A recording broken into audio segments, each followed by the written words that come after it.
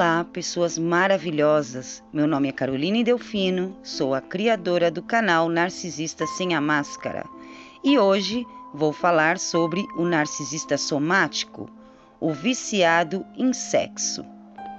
No último vídeo, falei aqui sobre os narcisistas chamados de narcisistas de baunilha ou narcisistas cerebrais, que fazem seus parceiros passarem fome sexual por um sadismo e preferem o sexo solitário. Caso você não tenha assistido a esse vídeo, vou deixar o link aqui na tela, é só clicar e assistir. Mas agora vou falar sobre o outro lado da moeda, ou seja, sobre os narcisistas de chocolate ou narcisistas somáticos, os viciados em sexo. Narcisistas somáticos costumam se preocupar com o sexo.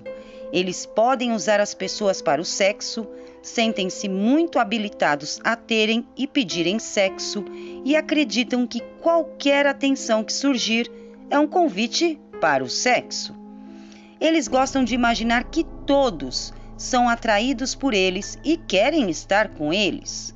Muitos narcisistas somáticos são infiéis patológicos em relação a casos extraconjugais, porque a tensão sexual é o alimento para o seu ego.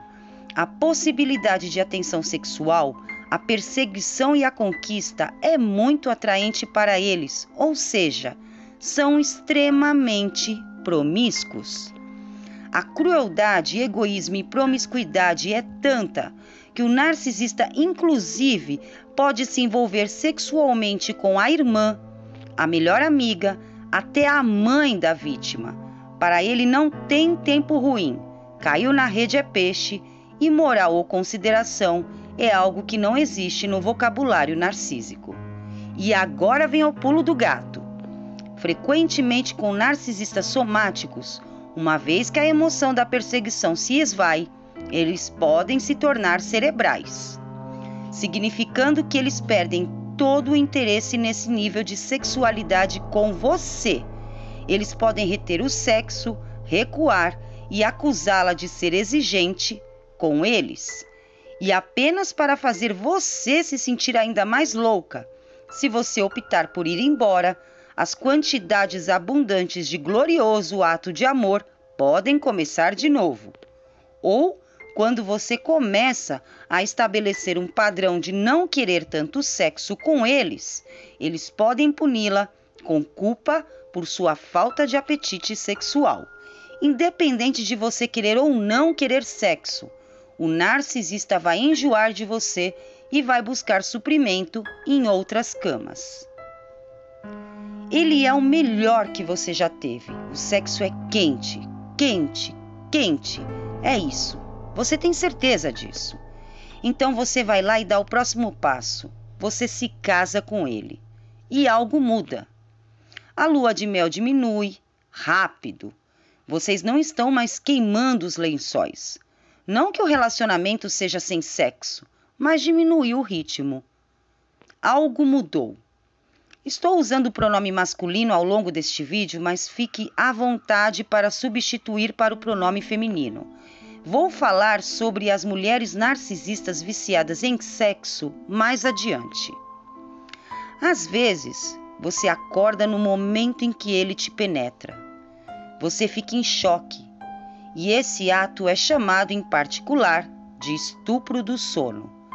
Mas mesmo quando o sexo é consensual, a conexão se foi. Muitas das vezes não há preliminares. Ele insiste em estar no topo, na posição de controle, ou ele pode preferir o estilo cachorrinho, para que não haja contato visual. O sexo se transformou em um ato frio e mecânico. Ele fica bravo porque não está mais se satisfazendo com você.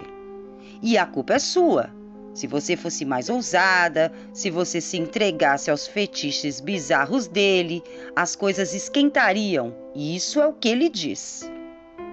Então você ignora suas próprias vontades e aceita um pouco inofensivo de sadismo e masoquismo.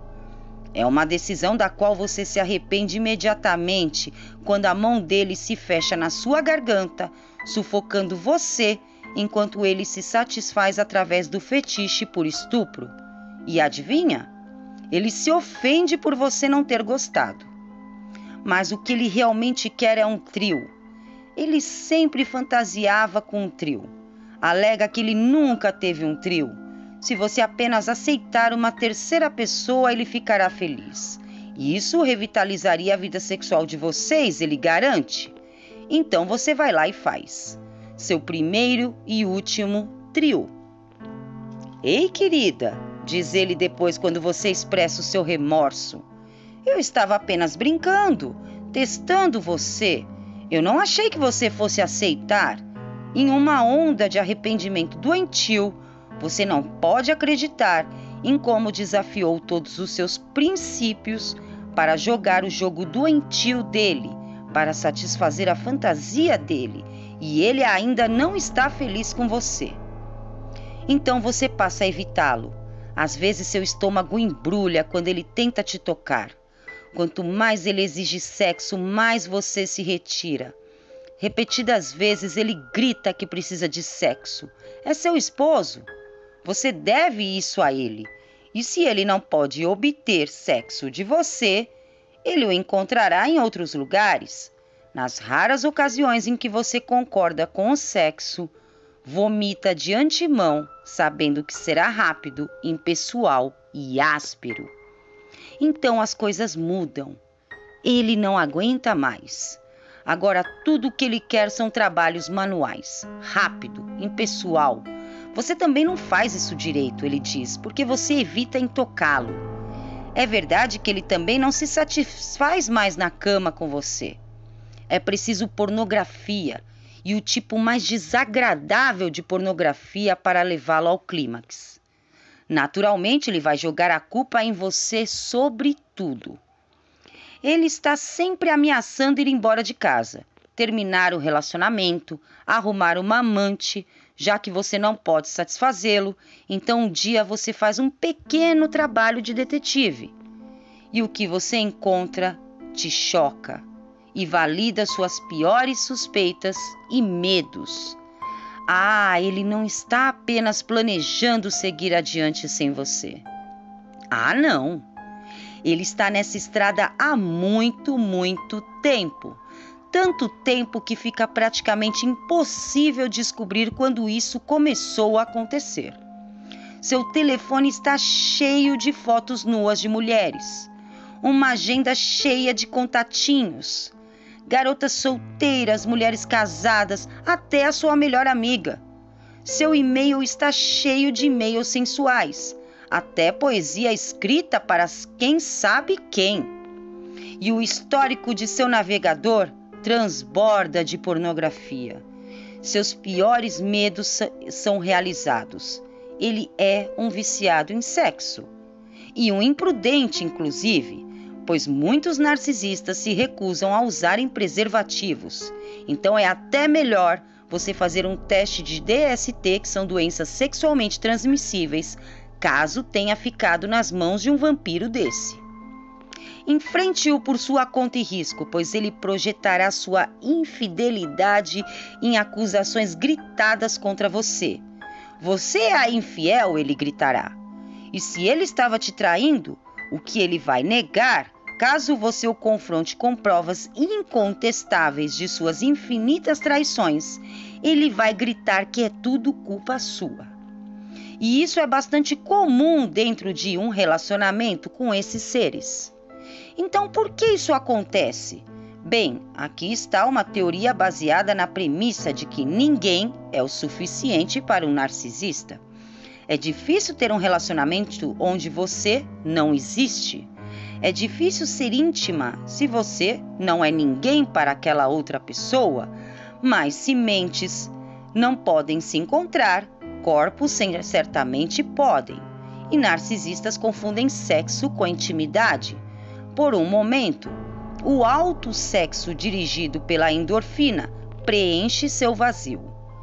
Eles estão sempre procurando uma próxima fonte de suprimento um novo e emocionante fetiche, ou melhor ainda, novas conquistas, uma lista cada vez maior de novas parceiras.